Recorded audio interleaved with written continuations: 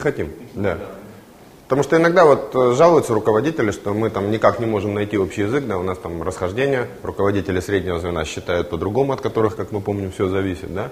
Иногда нижний уровень персонал, ну, принимающий какие-то решения менеджеры, они как-то бузят, да. И вот свод это такой неплохой способ. Лидерство и издержка. А, лидер... Нет. Должен быть круг более крупной компании, нести более крупные издержки. М, Так это э, лидерство в издержках. Это либо ваша сильная сторона, либо нет. Собственно, вы можете нести все, что угодно. То есть рассматривать не с позиции относительно нашего размера. Нет, конечно. Лидерство в издержках, простите, предполагает исключительно следующее, что а, одна и та же операция, или одна и та же продукция, или одна и та же услуга нам обходится дешевле, чем конкуренту. А размер компании, простите, здесь вообще не, не играет никакой абсолютно рояли.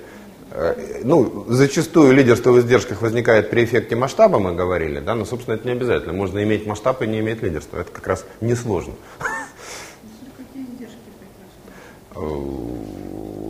Понимаете, ну, мы не можем сейчас залезть в систему вашего бухгалтерского учета, э, в систему Direct Costing и определить, как вы определяете прямые косвенные издержки, как вы обсчитываете себестоимость. По факту, уж извините, да, цитируя Жванецкого, э, очки есть или их нет. То есть у вас есть лидерство или у вас нет лидерства. Да? И я надеюсь, что вы просто не будете сами с собой лукавить и добиваться лидерства того, что заносить на себестоимость не все издержки, остальные куда-то там не показывают. Да, это согласитесь, что это просто самообман, поэтому такими вещами вы, скорее всего, заниматься не будете. Ну, нет ответа, ставьте вопросительный знак. Для чего лидерство в издержках, следует ли объяснить? Ценообразование. Да, если мы э, имеем преимущество по издержкам, значит, мы можем теоретически использовать, например, э, ну, если не говорить демпинг, то, по крайней мере, ценовое давление. И тогда мы не обанкротимся. Да? Возможно, мы за счет этого захватим более широкую группу. Нам, возможно, это и не надо, да? но мы это можем сделать. Кроме того, если конкуренты начнут ценовую войну, имея лидерство в издержках, мы в ней имеем шанс выиграть. Э, Самое страшное, как это на рынке делают, просто снижают цену в ответ. М? Да если снижаю, бог с ним, иногда в убытки влетаю. Да. Так, так задайте вопрос, очень хорошо.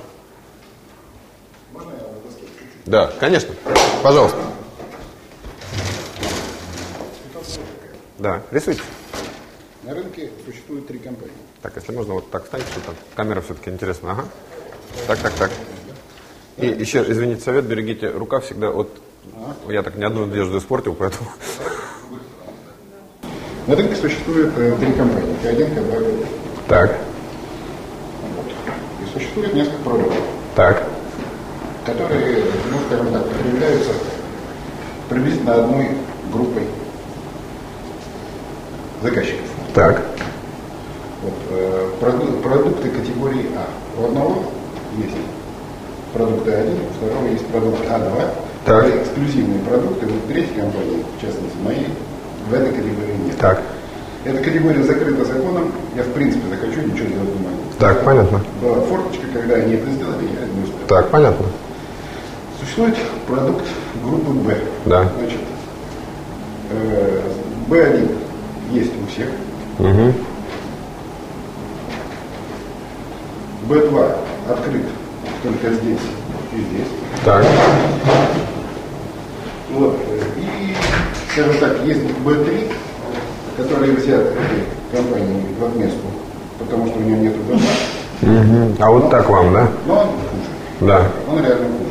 Так, сейчас я, простите, помечу, что он условно Б.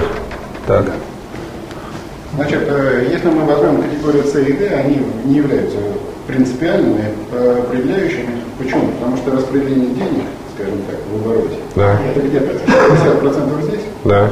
и 40%. 50% здесь, Да. 40%. Понятно. Вот, значит, по продуктам B1 это компания лидер, по продукту B2 это компания лидер.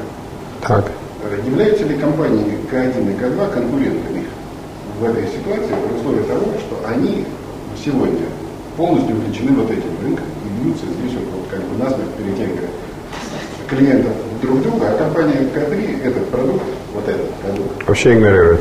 э, нет, кладет для ассортимента и так, тому, кто надо, мы закупаем здесь и кладем. При этом, что происходит? Поскольку они здесь бьются, и это законодательно регулируется, и это большие деньги несет. Да. Стратегия и той, и другой Направлены на вот на- это. направлена на это, и Да. поведение Отключим продукта, отключим газ, да. Так, ну, помните, бриллиантовая рука, да?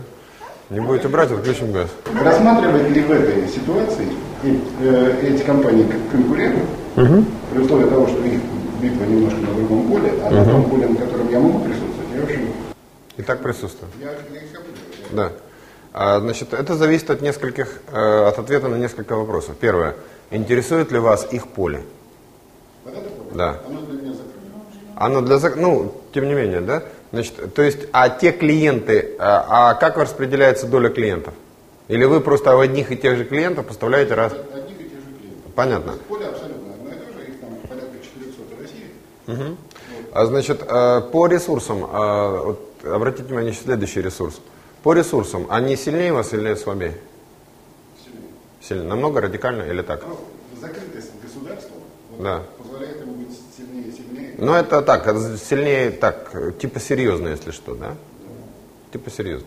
А, видите, тогда, скорее всего, ну это опять так достаточно поверхностно, я бы на всякий случай поглядывал бы за ними, потому что получается так, отобрать мы у них ничего вроде как не можем, да?